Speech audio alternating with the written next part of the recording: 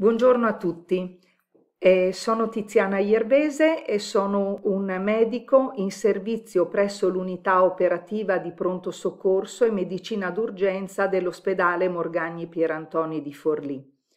Eh, sono anche rappresentante del eh, gruppo di lavoro aziendale accoglienze e prese in carico in pronto soccorso delle vittime di violenza. Nella settimana dedicata alla salute della donna, promossa e sostenuta dalla Fondazione, eh, dalla fondazione Onda, questo contributo si pone eh, due obiettivi fondamentali. Il primo obiettivo è quello di mantenere alta l'attenzione e la sensibilità nei confronti della tematica della violenza contro le donne, quindi della violenza di genere. Il secondo fine è quello di portare a conoscenza della popolazione eh, il protocollo aziendale che risulta operativo nei pronto soccorsi della USL della Romagna che guida eh, i professionisti dell'emergenza nel percorso di accoglienza e presa in carico delle donne che subiscono violenza di genere. E abbiamo la necessità all'inizio di questo breve percorso insieme di fare alcune premesse. La violenza rivolta nei confronti delle donne è un fenomeno molto complesso ed articolato che coinvolge non soltanto aspetti sanitari e psicologici, ma anche sociali, legali e giuridici. E ne consegue quindi che l'accoglienza e la presa in carico di questa popolazione di utenti che possono rivolgersi sia alle unità operative di emergenza-urgenza, ma che possono accedere anche ad altri punti sanitari territoriali e anche attraverso altre istituzioni non sanitarie, non può prescindere dal coinvolgimento di altri attori che sono chiamati in maniera congiunta a rispondere al bisogno di questa popolazione. Tant'è vero che ormai da tempo si parla di approccio di rete multiprofessionale ed interistituzionali di contrasto al fenomeno. Nonostante quotidianamente ci confrontiamo con gli effetti devastanti della violenza di genere o violenza contro le donne, Tale realtà risulta tuttora scarsamente conosciuta, generalmente sottostimata, a volte erroneamente interpretata e spesso oggetto di pregiudizio, di giudizio negativo, intolleranza ed insofferenza. Si tratta di un fenomeno che non appartiene alla sfera delle marginalità, del disagio sociale o della malattia mentale, bensì coinvolge tutte le classi sociali, le professioni, i livelli educativi, le culture, le religioni e addirittura la cosiddetta normalità. E l'origine della uh, violenza di genere eh, affonda le sue radici nella disuguaglianza di genere che è mantenuta da pregiudizi, stereotipi e da una profonda cultura patriarcale che purtroppo continua a permeare i servizi sanitari, i, quelli educativi e sociali, il sistema giudiziario, i media, le classi politiche ed è per questa ragione che le donne che trovano il coraggio di denunciare si trovano spesso a dover fronteggiare il fenomeno della vittimizzazione secondaria, ovvero vittimizzazione da parte di quelle istituzioni che nella realtà dovrebbero fornire tutela e protezione. Indipendentemente dalla forma di violenza che viene subita, a volte in forma unica o a volte in forma plurima, eh, la violenza ha sempre un impatto negativo sul piano emotivo e psicologico, oltre che sulla salute fisica. E l'Organizzazione Mondiale della Sanità, fin dal 1995, eh, metteva in evidenza come la violenza verso le donne rappresenti in tutto il mondo un fattore eziologico e di rischio non soltanto per patologie che riguardano eh, la sfera sessuale o di tipo traumatico, ma anche di tipo internistico e di tipo psicologico e questo purtroppo ha delle importanti ricadute sul sistema sanitario e sul mercato del lavoro. E la conferenza dell'Assemblea Mondiale della Salute nel maggio 1996 decretava che la prevenzione della violenza è una priorità di salute pubblica e quindi è necessario coinvolgere, sensibilizzare e formare tutti gli operatori sanitari, ma anche non sanitari, al fine di riconoscere, trattare e prevenire tutte le conseguenze della violenza sulla salute psicofisica, anche nelle generazioni future. È infatti dimostrato che coloro che subiscono violenza in età infantile o adolescenziale nella fase adulta tenderanno, a perpetuare la violenza o come vittime della stessa oppure come autori. Quindi è necessario nei confronti dei bambini e dei ragazzi svolgere un'importante prevenzione di tipo primario. Guardando le dimensioni del problema, già dai dati Istat del 2007 che sono stati evidenziati eh, nel report Violenza e maltrattamento contro le donne eh, dentro e fuori la famiglia, si documentava come oltre 6 milioni di donne nella fascia di età tra i 15 e i 70 anni affermavano di essere state almeno una volta nella vita vittime di maltrattamenti o violenza sessuale. Secondo le ricerche portate avanti dall'Organizzazione Mondiale della Sanità nel 2017, in riferimento ai paesi industrializzati, si stima che più del 30% delle donne subisca nel corso della propria vita maltrattamenti fisici o sessuali da parte di un partner o un ex partner. La violenza domestica risulta essere un fenomeno molto frequente con tendenza a ripetersi fino alla cronicità. In merito alle caratteristiche dell'autore di violenza, è dimostrato che nella maggior parte dei casi colui che offende la donna e colui che agisce violenza appartiene o alla sfera sentimentale o a quella amicale o a quella familiare è molto poco frequente la violenza agita da parte degli, di persone sconosciute. Dai dati emanati dal nostro Ministero della Salute, che prendono in considerazione il triennio che va dal 2017 al 2019, eh, risultano che sono 16.140 le donne che fanno ricorso ai pronto soccorsi del territorio nazionale per le conseguenze di episodi di violenza. Queste donne sono spesso vittime di violenza reiterata e quindi a motivo della violenza ricorrono più spesso in pronto soccorso. Ed inoltre le stesse donne hanno un numero elevato di accessi in pronto soccorso apparentemente per cause non correlate al vissuto di violenza. Questo fa pensare comunque che la violenza determini per queste donne una particolare condizione di fragilità sul piano fisico e psicologico. Se guardiamo i dati che riguardano il territorio dell'azienda sanitaria della Romagna, risulta che ogni anno un numero compreso tra 800 e 900 donne che subiscono violenza si rivolgono ai servizi del pronto soccorso. Quando noi parliamo del ricorso al pronto soccorso della donna con esperienza di, di violenza, è importante considerare questo momento critico e delicato e i professionisti sanitari dell'emergenza di ciò devono avere una grande consapevolezza. La donna ricorre e chiede aiuto ad un'istituzione o al pronto soccorso o ad anche ad altri punti della rete dopo una lunga storia di discriminazione, sopruso, a volte privazione di libertà, lesioni fisiche, psicologiche, che spesso vengono eh, consumate sotto lo sguardo di figli minori che direttamente o indirettamente sono partecipi di questo vissuto. Di solito la donna prende una decisione estrema. Si tratta di un atto di coraggio e a volte un momento irripetibile ed è per questo motivo che i professionisti sanitari devono essere pronti a cogliere questa richiesta di aiuto. È ormai da numerosi anni che all'interno dei pronto soccorsi sono stati elaborati e vengono applicati dei protocolli che guidano sia la fase di accoglienza che quella di trattamento, come anche la fase di dimissione protetta o ricovero di questa popolazione di pazienti. Eh, dall'avvento eh, dell'azienda sanitaria della Romagna, che nasce dall'unione di precedenti aziende sanitarie delle province di Forlì Cesena, Ravenna e Rimini,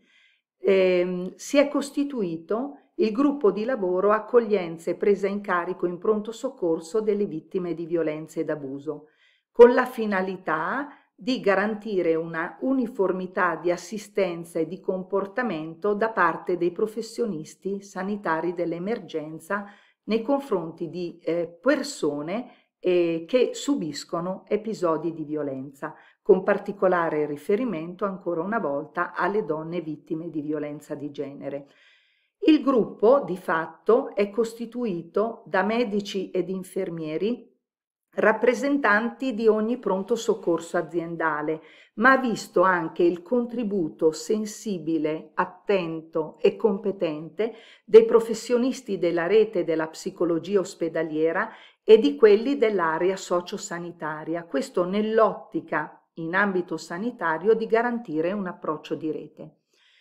La procedura che è stata elaborata, oltre a definire tutte le tappe del percorso sanitario all'interno del pronto soccorso ehm, delle, vittime, vi, eh, delle vittime di violenza abuso, sia la fase di accoglienza, eh, sia la fase diagnostica terapeutica, sia la fase di dimissione, eh, si pone anche l'obiettivo di eh, ehm, fornire all'utente una informazione in merito alla rete esterna del mondo sanitario che ha però un'importanza fondamentale nel cammino di tutela e riabilitazione e ricostruzione della persona offesa.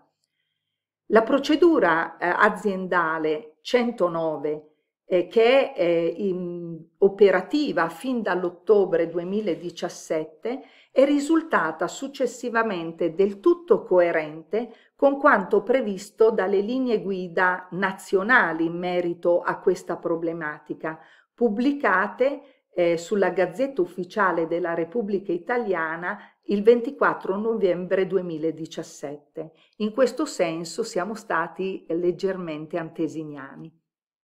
Oltre alla procedura aziendale principe, la procedura aziendale 109,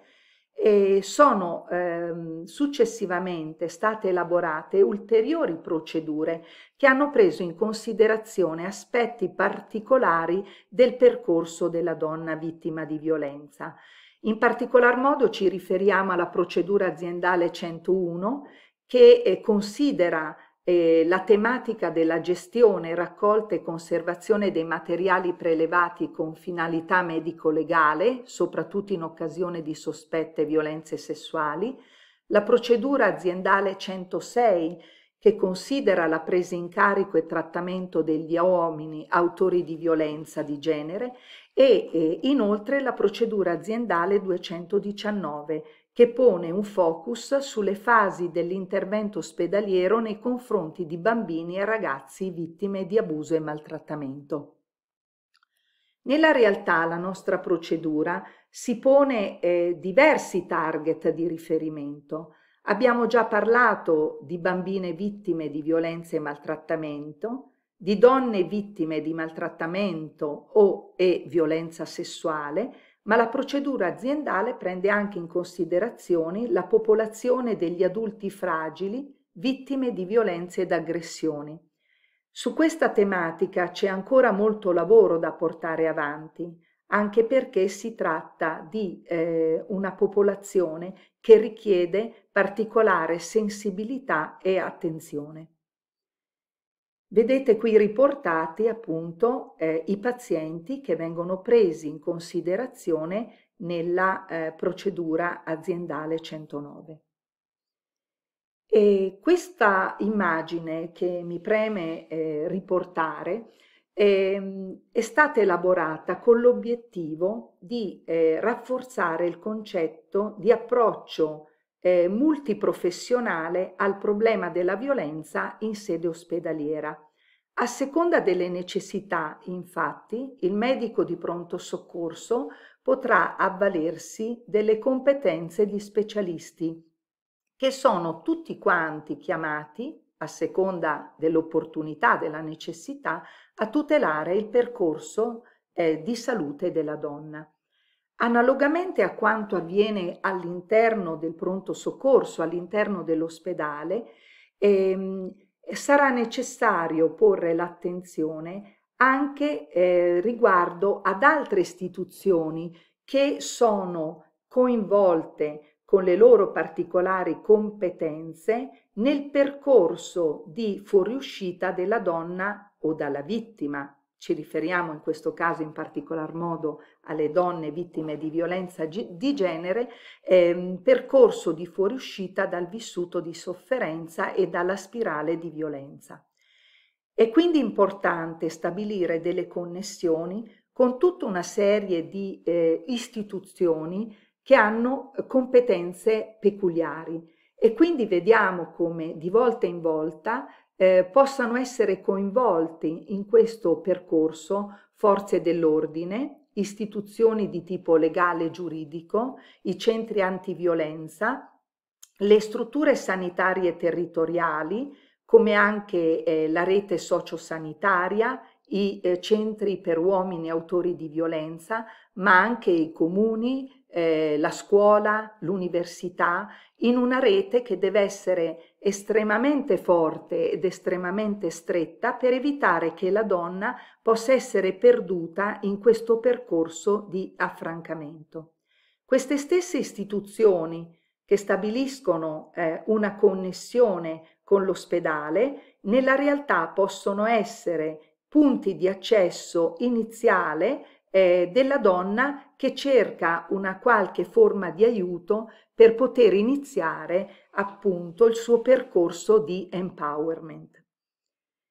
Quando andiamo a guardare le fasi del percorso sanitario in pronto soccorso, possiamo eh, evidenziare diversi momenti. Sicuramente uno dei più eh, critici e delicati, indipendentemente dalla modalità dell'accesso in pronto soccorso della donna sola o accompagnata, è la fase di accoglienza in triage. Il personale infermieristico che è addetto a questa eh, azione e questo momento dovrà accogliere la donna prestando la massima attenzione ad intercettare ogni segno di violenza, anche quando non dichiarata. Quindi sarà molto importante fare attenzione al linguaggio verbale e non verbale.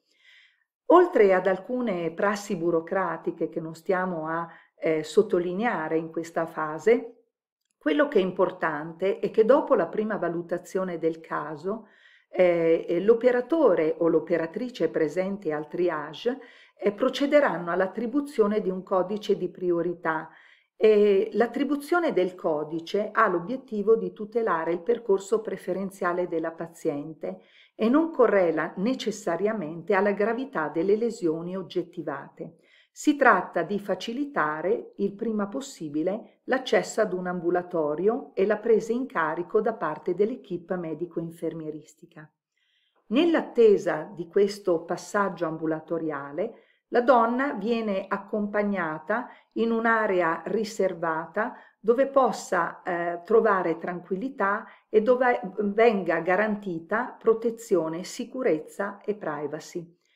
Eventuali accompagnatori inizialmente saranno allontanati e soltanto successivamente potranno raggiungere la donna eh, nell'area privata. Eh, per quanto invece riguarda eh, la donna accompagnata da figli o figlie minori, questi ultimi potranno restare vicino alla madre e potranno essere avviati ad un percorso a loro dedicato con il coinvolgimento delle unità operative di pediatria. Infatti è importante ricercare eh, la condizione di violenza agita anche da, eh, nei confronti dei minori, in maniera diretta oppure in maniera indiretta come violenza assistita.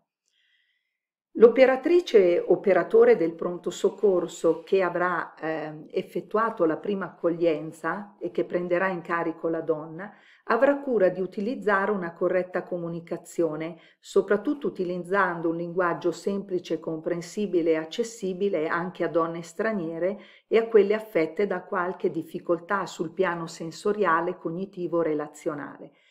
E si adopererà inoltre per instaurare un rapporto basato sulla empatia e sulla fiducia, in modo da facilitare il passaggio alle fasi successive di presa in carico, diagnosi e cura, sempre nel rispetto della libertà e dell'autodeterminazione della paziente.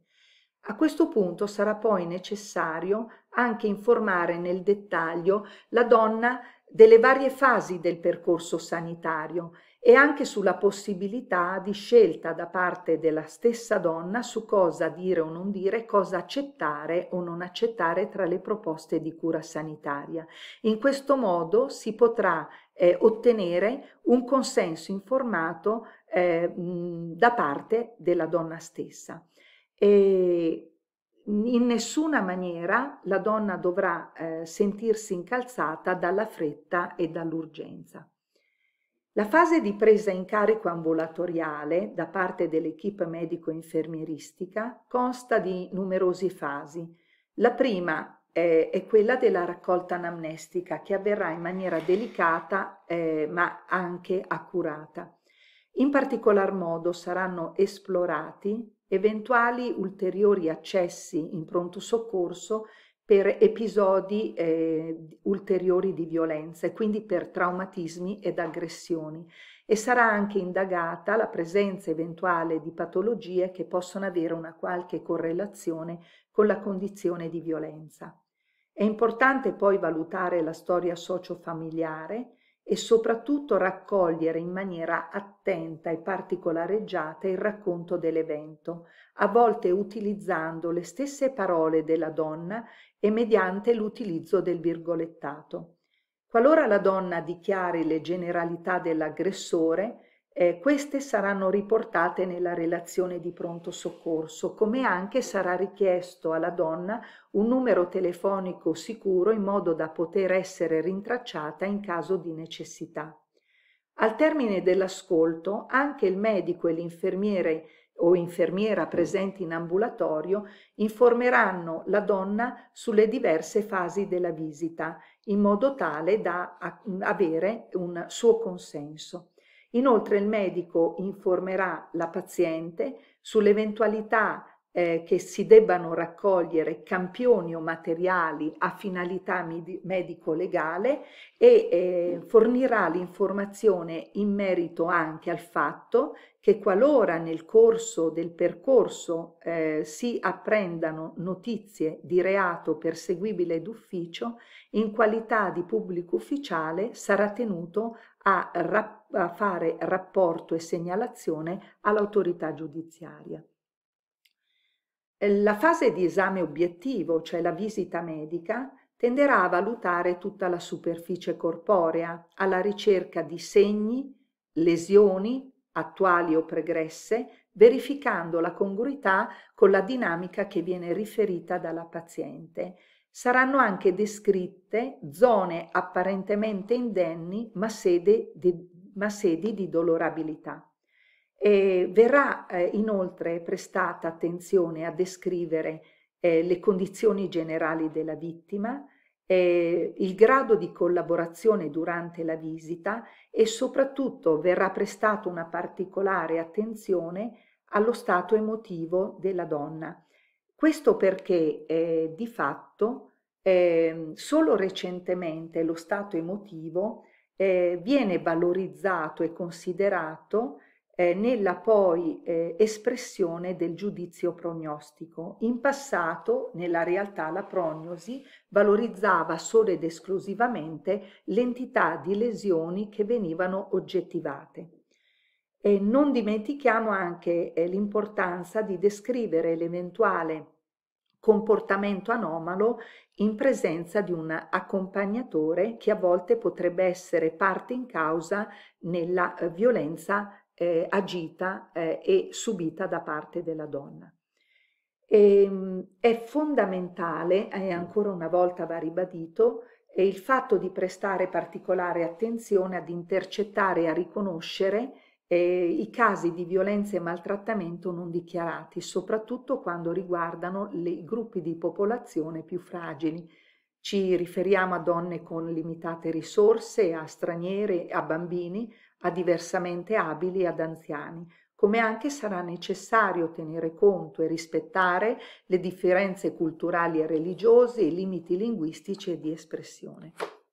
In merito al consenso informato, abbiamo già di fatto eh, detto qualche cosa, è importante comunque che eh, l'informazione eh, consenta alla donna di accettare oppure di porre un diniego a quello che viene proposto.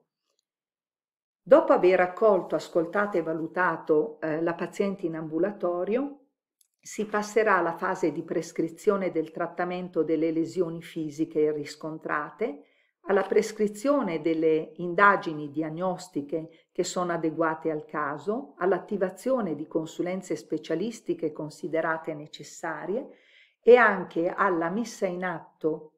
di tutte quelle azioni preventive secondarie che possono, eh, diciamo, aggravare e eh, mettere in pericolo ulteriormente la donna. Ci riferiamo in particolare maniera ai casi di eh, contatto con materiale biologico eh, che potrebbero esporre a malattie, in particolar modo quelle sessualmente trasmesse, per cui sarà necessario mettere in atto eh, le opportune terapie di profilassi. La stessa cosa va riservata eh, come attenzione alla valutazione del rischio di eventuali gravidanze indesiderate. Si procederà poi alla compilazione accurata ed esaustiva della relazione di pronto soccorso, eh, utilizzando anche ausili particolari come ad esempio schemi corporei già pronti che ci permettono di non dimenticare nulla e di effettuare eh, una eh, relazione e una, eh, di dare un contributo importante al percorso medico-legale qualora la donna abbia intenzione di attivare eh, una sua tutela giuridica. Eh, in merito alla somministrazione del questionario di valutazione del rischio di maltrattamento grave BRADEF e in merito al colloquio di refertazione psicologica parleremo eh, tra breve. Mi preme però soprattutto valorizzare il ruolo eh, della eh, infermiera o infermiere presenti in ambulatorio perché sono parte integrante del percorso della donna e ehm, il professionista assicurerà la sua presenza nel corso di tutta la visita, procederà al rilievo dei parametri vitali ed eseguire gli accertamenti prescritti dal medico, collaborerà alla raccolta e all'acquisizione di reperti, somministrerà le terapie opportune e contribuirà comunque, collaborerà a garantire la tutela, la privacy e a fornire informazioni sul percorso ospedaliero e territoriale per le vittime di violenza. Passiamo poi alla eh, fase di dimissione e ricovero. Eh, il medico alla fine del percorso eh, dovrà eh, considerare diverse opzioni eh, per la donna con vissuto di violenza. La donna avrà bisogno eh, di essere ricoverata essere trattenuta in regime di osservazione breve intensiva, potrà essere invece dimessa a domicilio con eh, tutte le informazioni necessarie sui servizi sociosanitari a supporto delle vittime di violenza, potrà essere eh, dimessa eh, però in condizioni di protezione. Tutte queste differenti opzioni saranno fortemente condizionate da una serie di fattori, eh, ad esempio dal danno subito o dalla eh, gravità ed entità delle lesioni riportate, oppure dalla rilevazione di un rischio eh, importante di reiterazione della violenza e di rischio per l'incolumità della donna. Eh, dalla disponibilità di risorse familiari e amicali che possono accogliere la donna in condizioni di sicurezza, dalla presenza di figli minori oppure dalla volontà della vittima. È proprio in questo momento, in questa fase, che un ruolo primario potrà essere giocato dai servizi sociali chiamati appunto a rispondere al bisogno. L'assistente sociale attivabile 24 ore su 24 nella nostra realtà e 7 giorni su 7, potrà fornire un contributo a vario livello. Eh, potrà di fatto fornire tutte le informazioni necessarie eh, sulle eh, risorse di cui la donna può valersi al momento della dimissione facendo riferimento a istituzioni territoriali,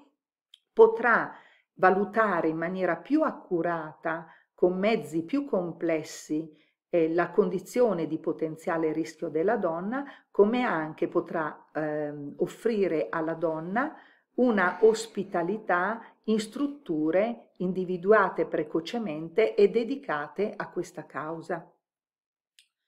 Eh, per quello che riguarda invece il medico di pronto soccorso, eh, per mh, poter decidere in maniera più eh, precisa in merito a, alle diverse opzioni di dimissione potrà valersi del questionario Bradef. Eh, attraverso eh, poche semplici domande, in maniera molto rapida, eh, il medico riuscirà ad individuare eh, una serie di indicatori eh, che eh, possono individuare il rischio di letalità e di recidiva di maltrattamento grave. E nella realtà eh, comunque eh, dobbiamo eh, assolutamente affermare un concetto che il migliore indicatore di rischio per la donna è il sentimento di paura che lei prova per la propria incolumità e per quella dei propri figli. Quindi, qualora la donna sia impaurita e lo manifesti in maniera palese, questo deve essere considerato un motivo sufficiente per pensare a una messa in protezione della donna. Il medico è tenuto a portare a compimento una serie di passi burocratici che non stiamo a elencare in questo momento, ma comunque sarà importante per il percorso successivo della donna che subisce violenza eh, avere un referto a disposizione con una diagnosi molto precisa e circostanziata eh, avere le indicazioni terapeutiche e, e eh, comportamentali eh, che dovrà in qualche maniera ehm, utilizzare a tutela della sua salute, eh, come l'avvio verso eh, l'attività eh, e le competenze del medico di medicina generale o il riferimento a un medico specialista. La relazione di pronto soccorso dovrà eh, esprimere una prognosi adeguata non solo alle lesioni fisiche ma anche al danno psicologico, dovranno essere effettuate eh, effettuati i rapporti all'autorità giudiziaria nei casi previsti, dovrà essere sempre garantita l'esenzione dal pagamento del ticket. E, ehm, alcune cose ulteriori prima di passare alla fase finale di questa relazione. Eh, in merito ai servizi sociali abbiamo già avuto modo di parlare. Eh, va comunque citato il ruolo importante anche dei centri antiviolenza referenti per i territori, per i vari territori e la informazione e la consegna in collaborazione con il personale infermieristico da parte del medico di materiale informativo riguardante le associazioni di aiuto alle vittime di violenza rappresenta un passo fondamentale e, e quindi un avvio ad un altro eh, importante eh, attore della rete. E terminiamo questo, questo percorso parlando da ultimo del eh, colloquio eh, di refertazione psicologica, o meglio, colloquio valutativo psicologico che potrà esitare nel referto psicologico. Si tratta di una prassi che non è distribuita uniformemente eh, in tutte le regioni d'Italia e eh, che rappresenta una peculiarità della realtà dell'azienda sanitaria romagna. E, ehm, il colloquio valutativo psicologico deve essere considerato uno step fondamentale nel percorso della donna vittima di violenza.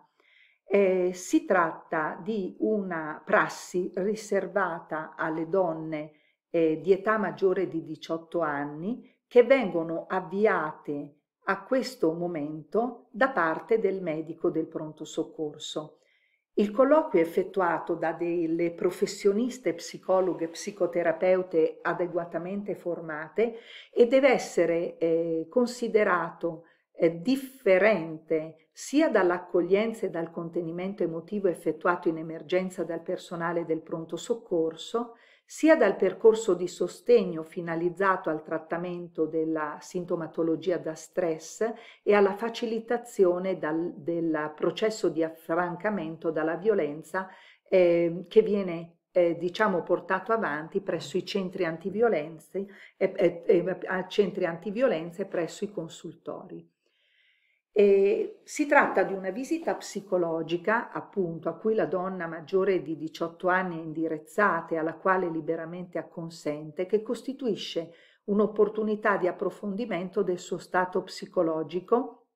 eh, in un momento molto preciso prossimo agli eventi traumatici, che scatta una sorta di fotografia di quanto la donna prova, riferisce e sente nel momento presente. E la sua funzione è quella di fornire elementi specialistici a, a, a, supporto del percorso medico-legale a tutela della donna ed è un compendio, un'integrazione del referto di pronto soccorso. Prima di iniziare il protocollo valutativo, la professionista fornirà tutte le informazioni necessarie affinché la donna possa dare la piena e consapevole adesione con sottoscrizione del consenso informato. E il referto psicologico costituisce quindi da una parte la raccolta del punto di vista della donna in merito alla sua sofferenza e alle conseguenze della violenza subita nella propria vita, il punto di vista del professionista che eh, avvalora quanto la donna riferisce con diagnosi e con valutazioni prognostiche appropriate che diano credibilità e validità alle parole e ai vissuti della donna, riparandola anche da possibili danni di una vittimizzazione secondaria. È uno strumento valido in ambito giuridico. L'intervento eh, consisterà in un unico appuntamento che viene effettuato eh, a distanza di pochi giorni dall'accesso in pronto soccorso. Questo colloquio potrà essere eventualmente seguito da un colloquio di follow up a distanza di circa un mese. E sarà mh, importante eh, durante eh, il colloquio eh, chiarire alla donna prima dell'inizio che qualora eh, ci siano, eh, si, si, acquisiscano notizie di reato eh, procedibile d'ufficio, la psicologa, analogamente al medico di pronto soccorso, sarà, alla, sarà tenuta alla segnalazione all'autorità competente. E durante eh, il colloquio, oltre alla raccolta del racconto con le parole della, della donna, verranno somministrate batterie testistiche orientate ad oggettivare il danno psicologico e quindi a dare una dimensione alla sofferenza conseguente alla violenza subita. E l'ambito privato dove il colloquio si realizzerà, separato temporalmente e fisicamente dal contesto di pronto soccorso, eh, porrà le condizioni eh, ideali per il recupero di ulteriori informazioni, eh, per aumentare la consapevolezza in merito ai rischi per la salute e l'incolumità, per rafforzare le conoscenze sui servizi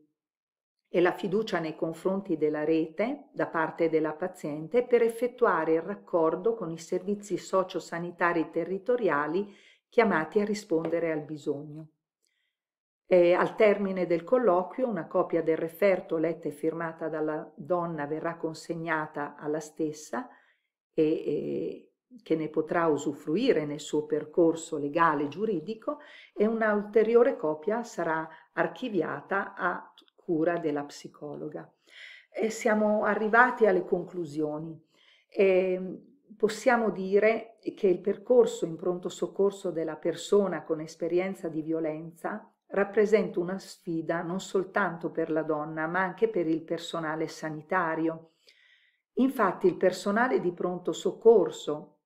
che passo dopo passo è chiamato ad accompagnare e presidiare questo difficile viaggio della donna in emergenza, non potrà affermare di aver portato a termine il proprio compito senza aver preso in considerazione tutti gli aspetti di questa delicata e drammatica esperienza,